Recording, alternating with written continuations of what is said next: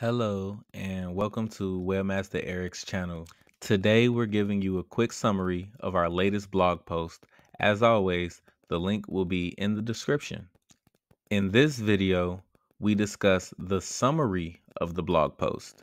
You'll learn the summary about the topic, but you'll have to go to the blog directly to read it in full. To dive deeper into this topic, visit our blog at webmastereric.com forward slash blog dash post or click the link in the description. If you need personalized help, don't hesitate to reach out to Webmaster Eric for expert assistance by filling out the contact form on the website. The link is in the description below.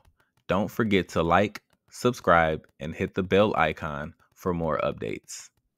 Creating a website can be an exciting project, whether for a personal blog, portfolio, or business. This guide outlines essential steps to simplify the process. Understanding the basics.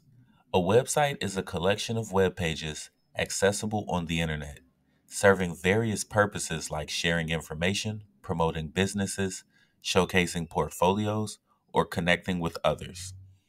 Define your purpose and audience.